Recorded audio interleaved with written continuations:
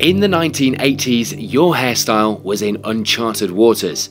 You should have locked your wardrobe and thrown away that key, but you could be forgiven any crimes against fashion if you drove one of these. Peugeot's answer to the hot hatch phenomenon that gathered so much momentum in the decade of turbo hairdryers and synthesizers. This is the Peugeot 205 GTI. In the 80s, it was perfectly acceptable to take the average modest family hatchback, add some horsepowers, some wide wheel arch extensions, and some red badges. And you know what? It still is. The 205 GTI is arguably the hot hatch. A real pocket rocket with a choice of either 1.6 or 1.9 litre engines and a body shell that weighed roughly the same as the average family Labrador. Well, Labradors still weigh broadly the same, and the same rule can apply to the 205 GTI. It still cuts it against modern hot hatches, but has the car that captured the imagination of people all over the world in 1983 when it was launched 30 years ago now become a part of the 80s that some people would rather leave there. If you're one of those people, you're wrong. Here's what you've forgotten.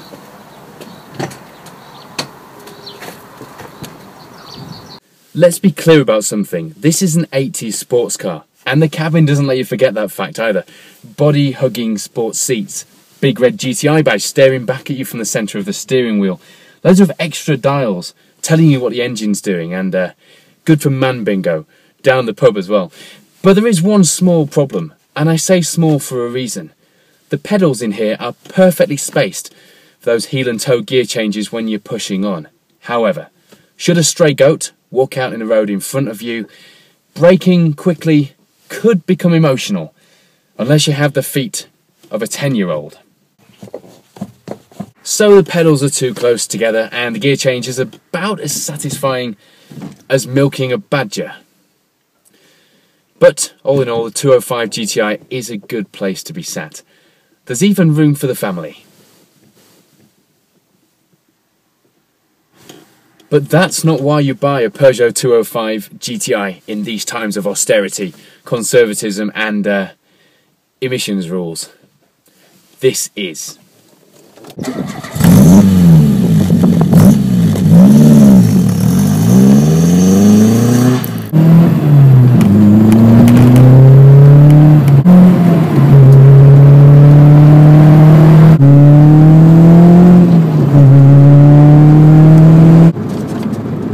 Raw power, immediate response from things like the steering, the brakes, the loud pedal. You know, the Peugeot 205 GTI comes from a time when cars did what you wanted them to do, when you wanted them to do it. Sure, it's not as fast as most new hot hatches, it's not as easy to drive, it's not as refined, but it's a lot more fun.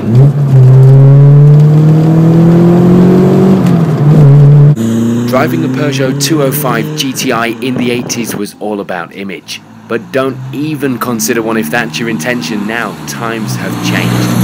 Majority of people who see you driving the car will feel sorry for you or wave their arms angrily as you leave them in a cloud of 80s French perfume from a time when the smell of the exhaust was all just part of the motoring experience.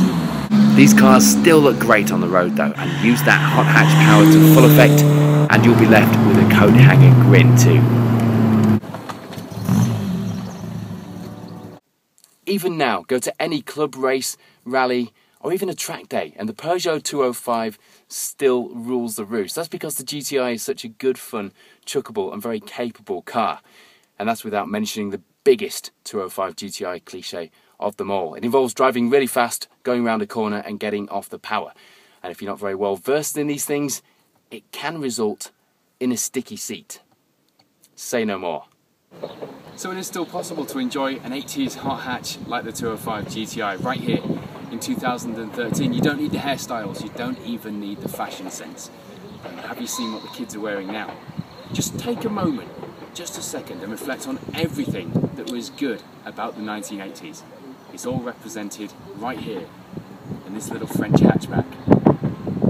You know, the marketing slogan when the car was first launched back in the mid 80s went something like if you want something sensible, buy an anorak. Of course, in the 80s, no one wanted to be considered sensible. I can't help but think though now you'd probably just sell more anoraks.